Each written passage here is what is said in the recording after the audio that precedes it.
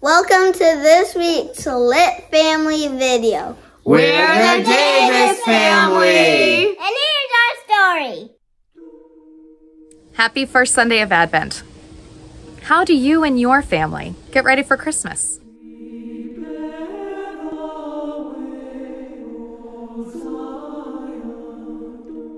On December 25th, we celebrate our Lord coming down from heaven as a sweet little baby. And we do a lot to get ready.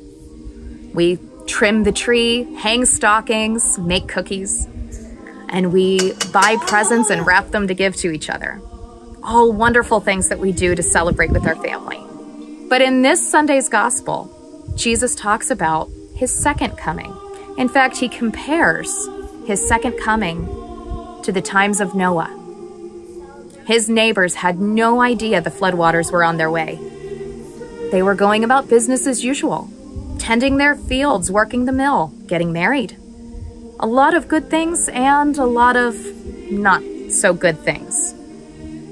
You could say their hearts were asleep. But during this time of Advent, I think it's time to ask ourselves are we asleep? Just like the people in Noah's day, we do not know the time, the day, or the hour that Jesus is coming back for us. So why don't we take some time, look in our hearts, and decide what needs to wake up? Spend some time talking with your priest and maybe even make an appointment for confession.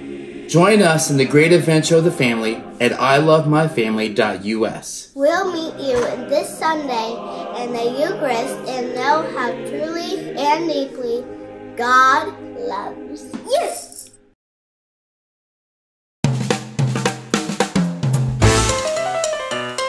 On December 25th, we celebrate our Lord coming down from heaven as a sweet baby, as a sweet. Hold on, you gotta, you gotta open it up, buddy. On December 25th, we know that we. I wouldn't try to do it with one hand. Hold on, Bubba. You've been watching your dad too much. In Matthew 24, Jesus tells us about the time of Noah. Jesus.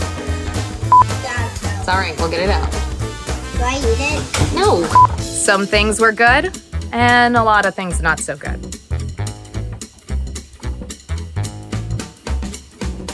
There you go. If you want to go in between me and Daddy, that's All right, perfect.